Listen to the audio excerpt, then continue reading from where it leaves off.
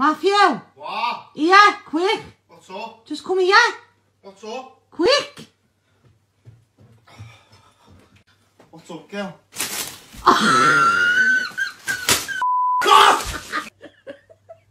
Anna, I'm not being funny, yeah? Right? No, just calm down. This got to stop. Can't go on, you're laughing, right? this can't go on because I've been furloughed for three weeks and I can't put up with this for three weeks. So you might as well call a wedding off. Call it off. Because I can't sustain this behaviour no more. I can't. I'm going to end up throwing you out the window.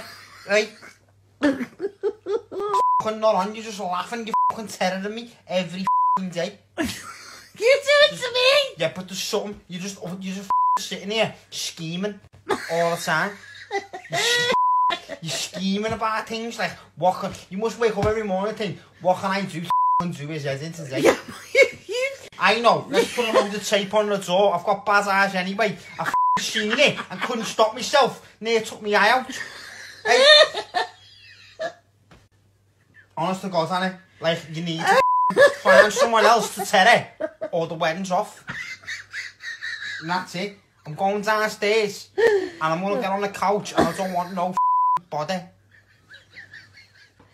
And you're laughing. You're laughing about it. I'm not even laughing. You are laughing. Yeah, but I'm laughing at you laughing. You're I mean it. I mean what a shape.